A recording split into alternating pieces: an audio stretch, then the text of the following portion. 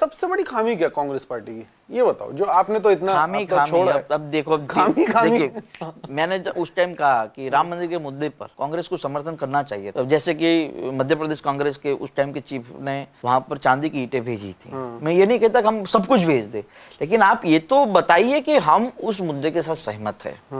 मैंने इस्तीफा जब दिया तब मैंने राम मंदिर का मुद्दे का ज़िक्र किया था तब कुछ पत्रकार बोलते थे कि ये तो बीजेपी की भाषा है। हाँ। तीन दिन बाद गुजरात कांग्रेस के पूर्व चीफ वो बोलते हैं कि राम मंदिर के निर्माण के लिए लाई गई ईटों पे कुत्ते पेशाब करते हैं। तो मैंने जो कहा उस टाइम लेटर में वही बात तो चल रही है।